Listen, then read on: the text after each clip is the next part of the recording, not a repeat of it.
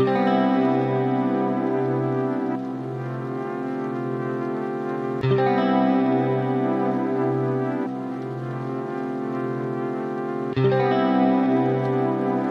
Friends இன்னைக்கு பார்த்தீங்கன்னா ஒரு vlog தான் நீங்கள் பார்க்க போகிறீங்க ஸோ காலையில் வந்து எந்திரிச்சாச்சு. எந்திரிச்சிட்டு இன்னைக்கு வந்து இட்லி தோசைலாம் கொஞ்சம் போர் அடிச்சுது. ஸோ எதாவது டிஃப்ரெண்ட்டாக சாப்பிட்லான்னு சொல்லிட்டு இன்னைக்கு வந்து ப்ரெட்டு வந்து டோஸ்ட் பண்ணி கொஞ்சம் வெங்காயம் தக்காளிலாம் போட்டு சாப்பிட்டேன். அப்புறம் என் பையனுக்கும் பார்த்தீங்கன்னா டோஸ்ட் பண்ணி ப்ரெட்டே கொடுத்துட்டேன். இன்னைக்கு கொஞ்சம் லேசியாக இருந்தது. அதனால் வந்து ரொம்ப சிம்பிளாக வந்து பிரேக்ஃபாஸ்ட் முடிச்சிட்டேன். ஸோ எப்பயாச்சும் இந்த மாதிரி ஆகும் இல்லையா? ஸோ இன்றைக்கி கொஞ்சம் லேசியாக இருந்தது.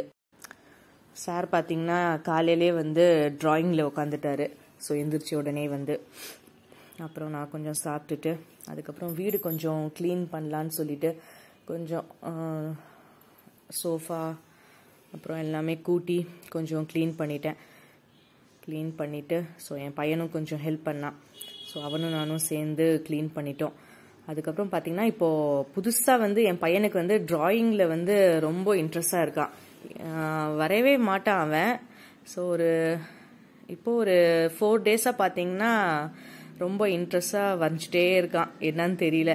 ஸோ பார்க்கறதுக்கு எனக்கு ரொம்ப நல்லா இருந்தது அவன் வரைகிறது பார்க்கறதுக்கு ஸோ சின்ன குழந்தைங்க வீட்டில் இருந்தாங்கன்னா அவங்க கண்டிப்பாக அவங்க பேரண்ட்ஸ்க்கெலாம் தெரிஞ்சிருக்கும். இந்த மாதிரி சின்ன குழந்தைங்க வரைஞ்சாங்கன்னா பார்க்கறதுக்கு நல்லா இருந்தது.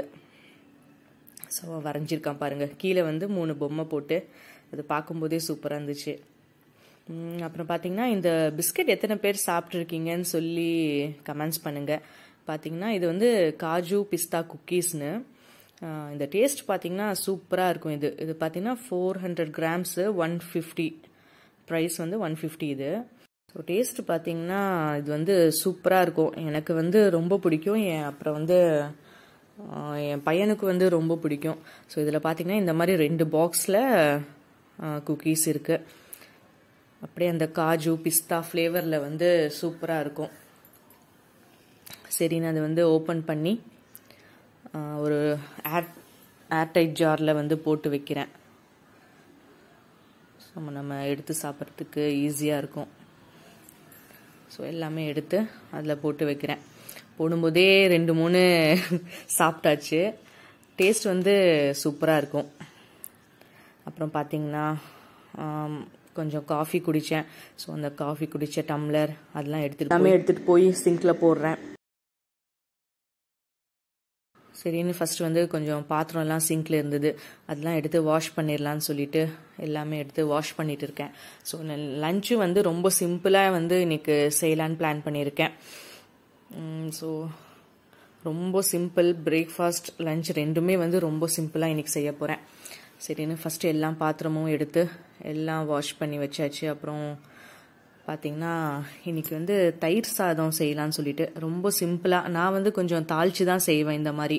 எண்ணெயில் வெங்காயம் மிளகாலாம் போட்டு தாளித்து தயிர் வந்து பேக்கெட் தயிர் தான் இது. வீட்டில் போட்ட தயிர் இல்லை.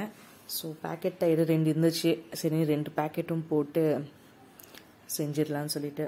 ஸோ ரொம்ப ஈஸியாக இன்றைக்கி லஞ்சும் முடிஞ்சிருச்சு.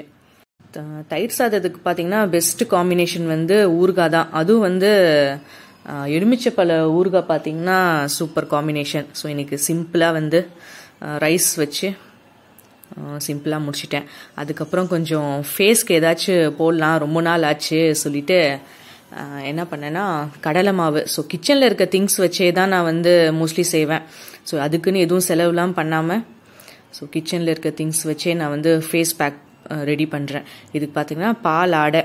பால் ஆடை வந்து மோஸ்ட்லி வந்து ஸ்கின்க்கு வந்து ரொம்ப நல்லது. நல்லா க்ளோயிங்காக இருக்கும் ஸ்கின்னு நல்லா ஃப்ரெஷ்ஷாக இருக்கும் ஸ்கின் நம்ம இது அடிக்கடி யூஸ் பண்ணோன்னா ஸோ கடலை மாவு சொல்லவே வேணாம். மோஸ்ட்லி எல்லாத்துக்குமே வந்து கடலை மாவு வந்து செட் ஆகும். ஸோ கடலை மாவு அப்புறம் வந்து பால் ஆடை. அப்புறம் வந்து லைட்டாக கொஞ்சமாக வந்து மஞ்சத்தூள் அப்புறம் வந்து எலுமிச்சை சாறு எலுமிச்சை சாறு வந்து கொஞ்சம் லைட்டாக தான் ஒரு அஞ்சாறு ட்ராப்ஸ் போட்டேன் அவ்வளோதான் போட்டு அதை நல்லா மிக்ஸ் பண்ணிவிட்டு நல்லா ஃபேஸில் அப்ளை பண்ணிவிட்டு ஒரு அரை மணி நேரம் கழித்து ஃபேஸ் வாஷ் பண்ணிட்டோன்னா நல்லா ஃபேஸ் வந்து நல்லா க்ளோயிங்காக சூப்பராக இருக்கும். ஸோ நீங்களும் இது வந்து ட்ரை பண்ணுங்கள் ஸோ செலவில்லாமல் வீட்டிலே நம்ம வந்து ரெடி பண்ணிடலாம் ஸோ இந்த வீடியோ பிடிச்சிருந்துச்சுன்னா கண்டிப்பாக வந்து லைக் பண்ணுங்கள் ஷேர் பண்ணுங்கள் சப்ஸ்கிரைப் பண்ணுங்கள் ஸோ நம்ம இன்னொரு சூப்பரான வீடியோவில் மீட் பண்ணலாம். Okay bye